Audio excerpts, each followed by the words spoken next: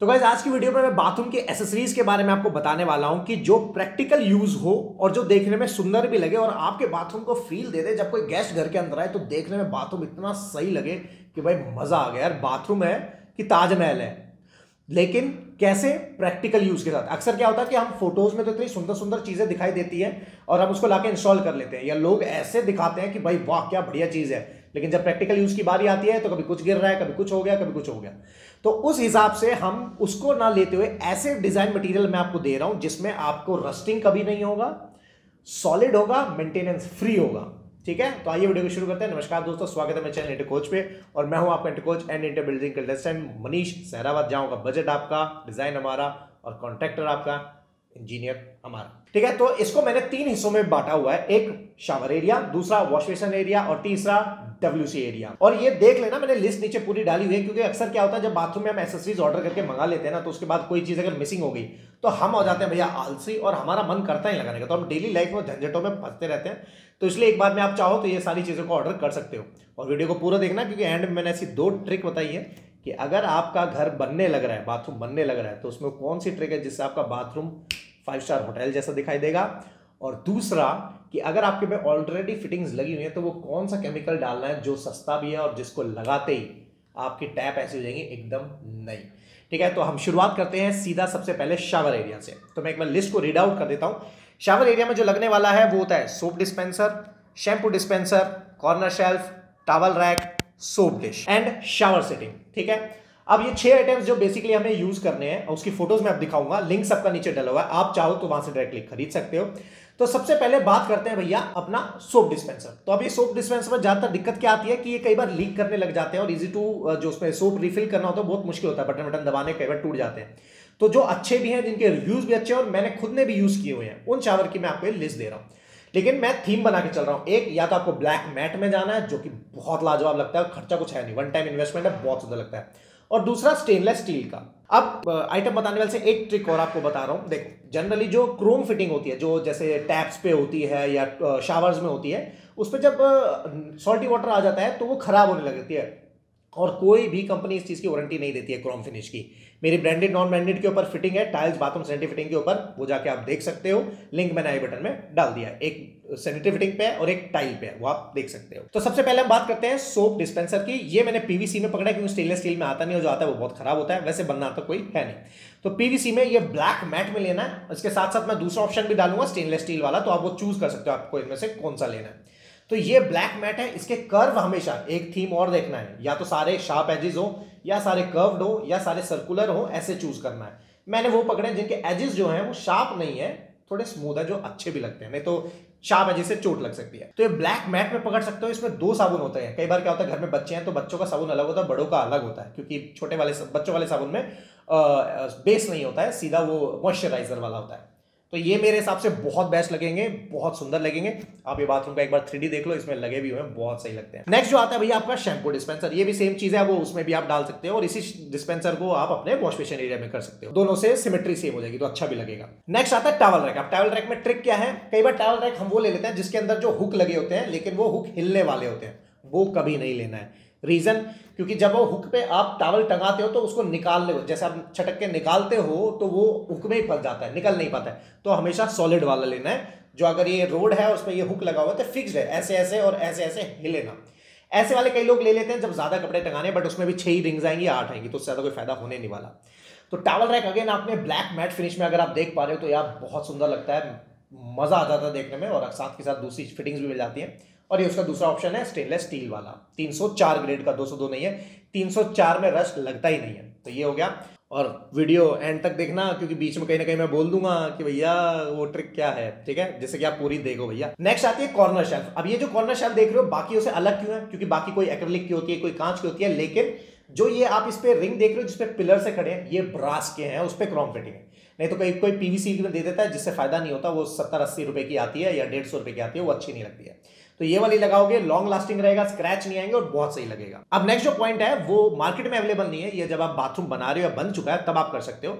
अगर घर में ओल्ड एज पीपल है तो नी में काफ़ी प्रॉब्लम आती है। तो आप शावर एरिया में जाओ तो सिटिंग एरिया बना सकते हो। जिससे कि अगर कोई बैठ के नहाना चाहे तो वहाँ पे नहा सकता है। साथ के साथ उसके एक हैंडल भी लगाना पड़ेगा, जो आगे डब्ल्यूसी एरिया मैं बताऊँगा। वो हैंडल बहुत ज़रूरी है ओल्ड एज पीपल के लिए, वो ज़रूर लगाना है। अगर आपके नी में दिक्कत है तो आप भी लगा सकते हो इसको, ठीक है? अब बात करते हैं वॉश बेसिन की सोप डिश के लिए। अगेन वही सोप डिश आपने टू इन वन वहाँ देखी तो यहाँ पे आप सिंगल वाली लगा सकते हो। सिंगल का मैंने इसमें लिंक डाल दिया है। डिस्पेंसर भी लगा सकते हो। अगेन वही वाला जो मैंने पहले बताया था। लेकिन अब चलो, मैं यू क्यों कह रहा हूँ? प्रैक्टिकल यूज़ क्यों कह रहा हूँ? क्योंकि डिज़ाइनर आइटम तो और भी बहुत सारे हैं। पहले अब फ़ोटो देखो। देखने में मस्त लग रहा है ना? अब इसका यूज़ कैसे करोगे? सपोज़ करो आपका काउंटर लगा हुआ है काउंटर के ऊपर वॉश बेसिन है तो ये तो नीचे रह गया तो पानी कहाँ जाएगा? जो इसमें ड्रॉप बनाया है दिखाने के लिए। और अगर अंडर काउंटर है, क्या आपके पास स्लैब पे उतना एरिया है कि आप कोने में कहीं लगा सको और साबुन का पानी वॉश बेसिन चल जाए? और अगर वॉश बेसिन में जाएगा ये पानी तो सोप की जो लाइन है, वो वॉश बेसिन पे बार बार बनती रहेगी। तो ये देखने में तो सुंदर है, लेकिन प्रैक्टिकली इसका कोई यूज़ नहीं है, ये वेस्ट है। नेक्स्ट आता है टावल रिंग अब टावल रिंग नहीं लेना, आपको टावल का स्टैंड लेना है। कैसे? टावल रिंग क्या होता है? उसमें गोल रिंग होती है और झूलती रहती है। टावल डालो, कभी निकाल रहे हो तो बार बार ये मैं इसलिए बता रहा हूँ क्योंकि मैं भी इससे गुजर चुका हूँ। क्योंकि मैंने जब कंस्ट्रक्शन जोन में था तो होटल की कंस्ट्रक्शन किया था, जिसमें 120 रूम्स की प्रॉपर्टी थी, उसमें लगाया था, तब हमने ये दिक्कत फेस करी कि यार ये तो दिक्कत आ रहा है। ठीक है? तो आपको टावल ये स्टैंड लेना अगेन ये ब्लैक और स्टेनलेस स्टील में है, इसको में आप कोई भी चाहो, ले सकते हो according to your theme and taste next है टूथ ब्रश होल्डर अब इसमें मैंने पूरा एक सेट बनाया है कि मैट में कैसे है और सिंगल में भी आप चाहो तो ले सकते हो। ठीक है? इसमें आपका परफ्यूम आ जाएगा टूथपेस्ट आ जाएगा और टूथब्रश आ जाएँगे। तो मुझे ब्लैक में एक्रिलिक में लिया है ये मैंने।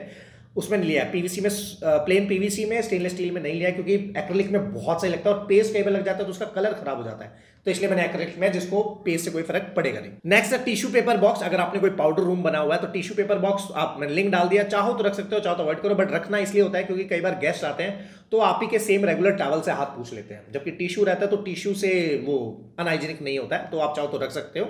लेकिन ध्यान रखना, इसके नीचे ट्रे ज़रूर रखना। एक वुड ट्रे आती है जूट की। वो उसमें रखोगे, बहुत सही लगता है। उसके अंदर आप परफ्यूम वगैरह फ्रेगनेंस के लिए भी कोई पैकेट रख सकते हो, जिससे पूरे बाथरूम में फ्रेगनेंस रहेगी और ये लिड की वजह से दिखेगा नहीं। तो ट्रे का भी लिंक मैंने डाल दिया, ये ट्रे की फ़ोटो देख लो। और जूट में यही लेना, कोई और मत लेना, नहीं तो कोई वुड के ले लेता है, कोई प्लास्टिक के ले लेता है तो कहीं एलगी काई हो जाता है, कहीं कुछ हो जाता है तो वो नहीं लेना है, ठीक है? नेक्स्ट अभी हेयर ड्रायर होल्डर जिसके साथ आपकी कॉम्ब भी सिट हो जाती है, कि कई बार होता है ना हेयर ड्रायर यूज़ करते हैं, हम कॉम्ब यूज़ करते हैं तो ये वाला वो होल्डर है। अगेन ये एक्रिलिक में है स्टेनलेस स्टील या ब्लैक मैट में नहीं लेना है, क्योंकि हमारे हेयर ड्रायर के ना काफ़ी टाइप के कलर आते हैं। तो अगर मैट ब्लैक में और कुछ और डालेंगे तो कई बार कलर मर्ज होता है अच्छा नहीं लगता तो इसलिए ये वाला लेना है, ठीक है? नेक्स्ट है ट्रिमर होल्डर अगर आपको ट्रिमर चाहिए तो उसके लिए भी आप ये डाल सकते हो। लिस्ट मैंने डाली हुई है तो पूरी लिस्ट में से आप टिक मार्क कर सकते हो, उसका स्क्रीनशॉट लो प्रिंट निकालो, कि क्या क्या चाहिए, वो रखो, बाकी को काट दो। ठीक है तो सिंपल है, आपको इजी टू हो जाएगा कि क्या खरीदना है, क्या नहीं खरीदना है। और भाई, एक चीज़ का ध्यान रखना, अक्सर लोग क्या करते हैं सैनिटरी फिटिंग्स को या टैप को उससे क्लियर कर देते हैं थिनर से या ब्लैक मैट बॉडी को थिनर से साफ़ करने लग जाते हैं या हार्पिक से करने लग जाते हैं और भी बहुत सारे केमिकल ये नहीं करना है, मैं लास्ट में केमिकल बता दूँगा, सिर्फ़ उसी से साफ़ करना है। नेक्स्ट है भाई रोब हुक मतलब कि अगर बाथरूम आप रखते हो तो उसके लिए ये ब्लैक मैट में मैंने डाला हुआ है, अगर आप चाहो तो इसको रख सकते हो, नहीं तो अवॉइड भी कर सकते हो। अब नेक्स्ट जो पॉइंट आता है डब्ल्यूसी एरिया में। इसमें आपको क्या चाहिए? एक हैंडल चाहिए क्रॉस बार चाहिए। रीजन क्रॉस बार इसलिए आप इसको ग्रैब हैंडल भी लिखोगे तो ज़्यादा इजीली आपको सर्च करने में आसानी होगी। ग्रैब हैंडल लिंक मैंने डाल दिया। ग्रैब हैंडल उनके लिए कि जिनको नी में प्रॉब्लम है या ओल्ड एज के पीपल हैं, जब डब्ल्यू से उठते हैं तो नी पे बहुत ज़्यादा प्रेशर आता है। तो ये हैंडल से लेफ़्ट या राइट वॉल पे लगा के, जिसमें आप कंफर्टेबल हो, वो हैंडल पे हाथ रख के आप सपोर्ट लेके उठ सकते हो। तो ये बहुत सही चीज़ है स्टेनलेस स्टील में। साइज़ आता है इसका दो फुट में और तीन फुट में, मैं दोनों के लिंक डाल दिए उसमें लिखा हुआ है, आप चाहो तो वहाँ से जाके उसे ले सकते हो। और इसी हैंडल को आप शावर एरिया में भी डाल सकते हो, जहाँ पे आप, मैंने आपको बताया था सिटिंग है तो वहाँ उठेंगे तो ये हैंडल वहाँ भी काम आ सकता है, ठीक है? और अगर लेफ़्ट राइट की वॉल नहीं है तो सामने वाली वॉल पे देख सकते हो, बाकी आप देखना पड़ेगा कितना स्पेस है, वो सब है। अब एक एक्स्ट्रा आइटम है जो कि हुक होता है डोर के पीछे लोग लगा लेते हैं, ये भी मैंने स्टेनलेस स्टील मार्क मैट में डाल दिया फ़ोटो आप देख सकते हो, ये भी बहुत सही लगता है, इसको आप यूज़ कर सकते हो अपने हिसाब से। अब जो मैंने आपको कहा था ट्रिक कि भैया कॉस्टिंग कैसे बचेगी, ये तो पैसे वाला आइटम तो बताया फ्री वाला तो बताओ। फ्री वाला आइटम ये है भाई, ये पुराने बाथरूम में पॉसिबल नहीं है, नए बाथरूम जो बन रहा है रेनोवेट होने वाला उसमें पॉसिबल है।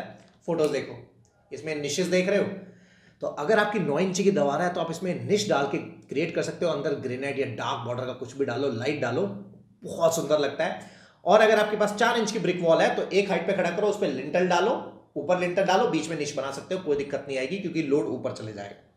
तो इसके लिए, लेकिन एक ट्रिक का ध्यान रखना, जब भी जैसे अगर ये निश का ऐसे पूरा बॉक्स है तो जो ये निश का जो अगर ये ऐसे बॉक्स हो गया तो जब ये पत्थर इसके सामने उतरेगा, ये 10 एम एम बारह एम नीचे तक उतारना। रीजन कि कल को अगर पानी जो है और यहाँ लाइट लगी हुई है तो अंदर ऊपर ना चले जाए, ऐसे स्लांट में ना चले जाए तो इसको थोड़ा सा नीचे करके रखेंगे। ये एक छोटी सी ट्रिक है। तो ये तो हुआ भाई कॉस्टिंग जैसे बचेगी। अब नेक्स्ट क्योंकि भाई, हमारा तो मान लीजिए नया वाला को तो सबका बता दिया। अब हमारा तो पुराना बाथरूम है, पुरानी फिटिंग हम क्या करें?